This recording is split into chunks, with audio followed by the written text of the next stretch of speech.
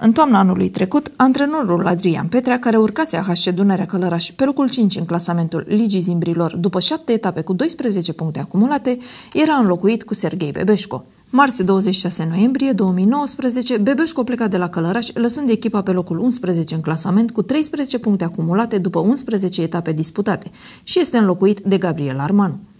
Acesta vine de la Bacău, unde sezonul trecut a antrenat echipa CSM Bacău pe care a salvat-o de la retrogradare și unde este acum antrenor Adrian Petre.